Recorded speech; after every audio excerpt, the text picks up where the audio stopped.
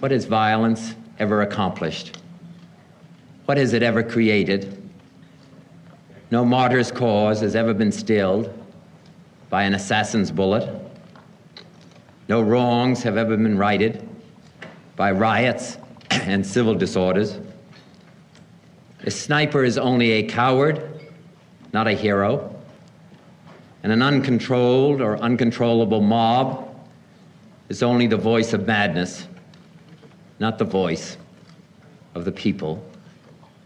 Among free men, said Abraham Lincoln, there can be no successful appeal from the ballot to the bullet.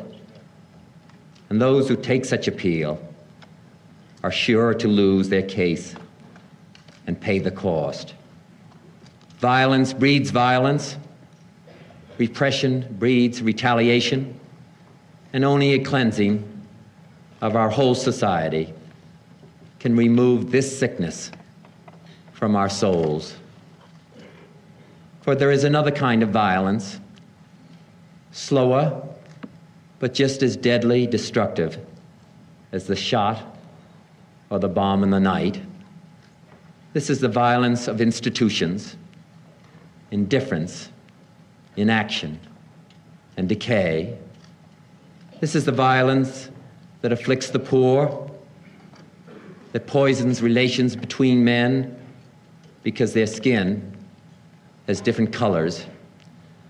This is the slow destruction of a child by hunger, and schools without books, and homes without heat in the winter.